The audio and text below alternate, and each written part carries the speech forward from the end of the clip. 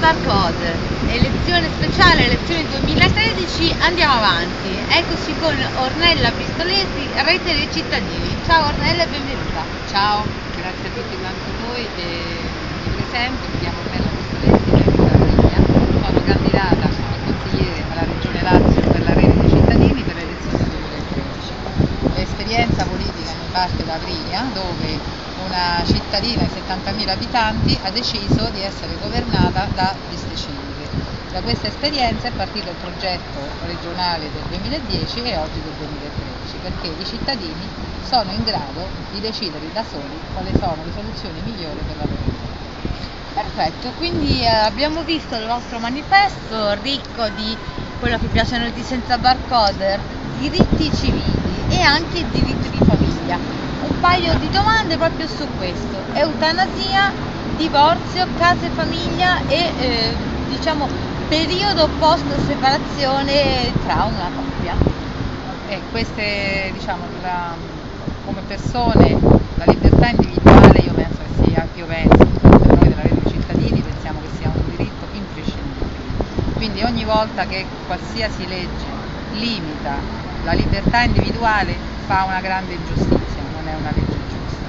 Quindi siamo sul discorso della, per esempio nel nostro comune abbiamo approvato il registro per il testamento biologico, ovvero ogni persona può decidere da sola quali trattamenti sanitari eh, usua, poter usufruire e senza essere attaccato a macchine che non gli restituiscono la dignità di vita. Un accanimento terapeutico eh, quando non desiderato?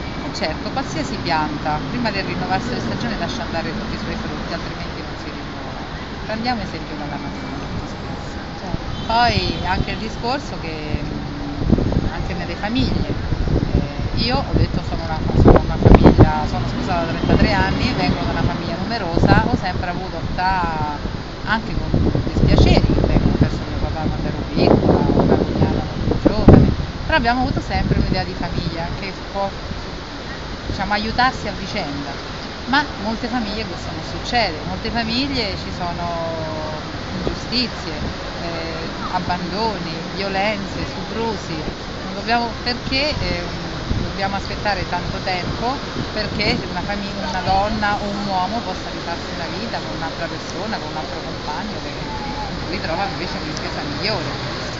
Ne va sia della sua salute ma anche di tutto il resto della famiglia che gli sta intorno perché anche i genitori quando due sposi dopo un po' si lasciano, soffrono e se poi non ci sono bambini che sono quelli che pagano più di tutti eh, le violenze, i maltrattamenti, eh, ma anche il dimenticarsi per qualsiasi cosa, cioè qualsiasi momento che può far star male l'altro eh, molto spesso viene usato solamente per, per vendetta, per basta, non, perché non c'è più amore, rispetto. Sì, certo, la PAS è la, sindrome di alienazione parentale, noi purtroppo la conosciamo e l'abbiamo studiata. Ancora qualche domanda.